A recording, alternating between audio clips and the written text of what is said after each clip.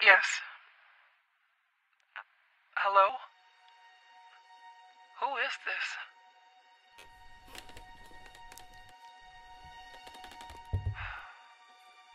Ashmann? Mr. Ashmann, Drake! The girl is here. Shall I let her in?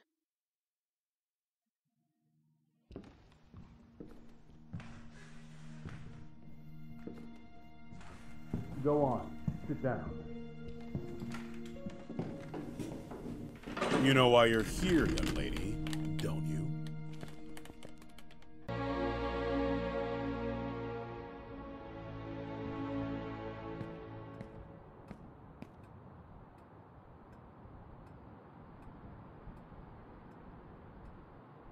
I am willing to turn a blind eye to the money and the cigarettes. Don't be fooled into thinking that I don't know about them. But for everything else, I refuse to do so. This is not a tourist resort, nor a playground. Breaking an entry? Larceny! What plans did you have for that gun? For God's sake, Jennifer, tell me! I don't know anymore. It seems you are a magnet for trouble.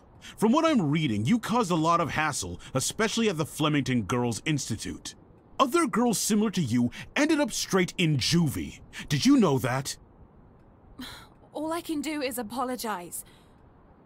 I can assure you I never intended. Young lady, what are you running away from? You are safe here. You can talk to me about it.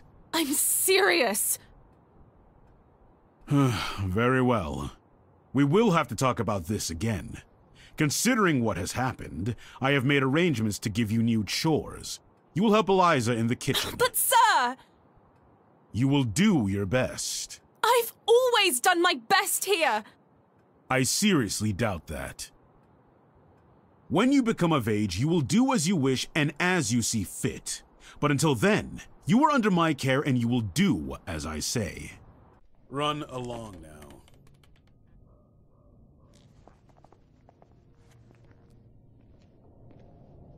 Oh, and by the way, Lindsay will no longer be a problem for you.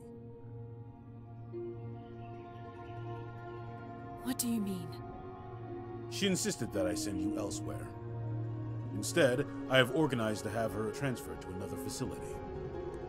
They will be coming to collect her next week. You may leave.